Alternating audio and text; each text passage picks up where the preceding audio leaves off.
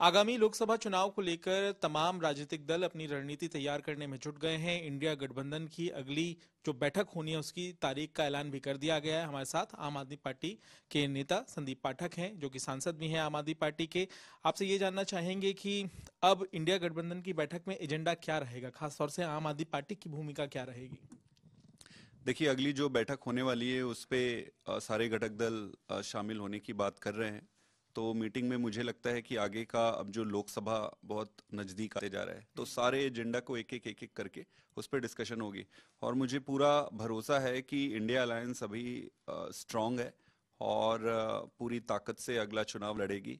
Issues और agenda तो आने वाली मीटिंग में ही पता चलेगा। लेकिन ज़ाहिर है कि संजय सिंह इससे पहले बैठक में शामिल हुए थे और उनकी काफ़ी अहम भूमिका थी। कैंपेन कमेटी में भी वो थे।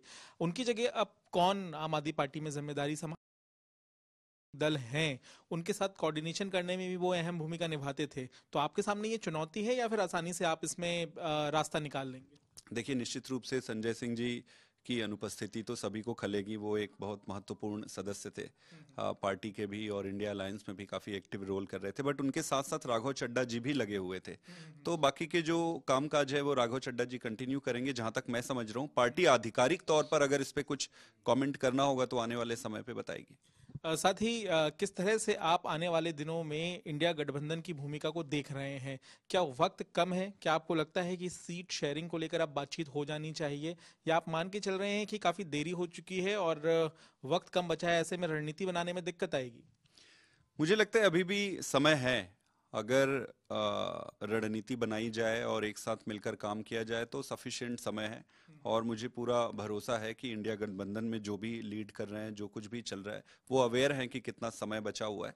और रणनीति बहुत जल्दी आपको दिखने लगेगी और मुझे लगता है कि अच्छा ही होगा। आप कुछ मांग लेकर भी जाएँगे क्या इस इंडिया गठबंधन की बैठक में कि आम आदमी पार्टी की ये मांग है इस पर भी कहीं ना कहीं आम सहमति बने? क्योंकि बाकी दलों के अक्सर ये सवाल आते हैं कि देरी हो रही है। ममता बनर्जी नाराज़गी ज़ाहिर कर रही थी कि टाइम कम है। अगर आप बता देंगे कि सीट पर गठबंधन होना है तो हम प्रचार की शुरुआत कर देंगे।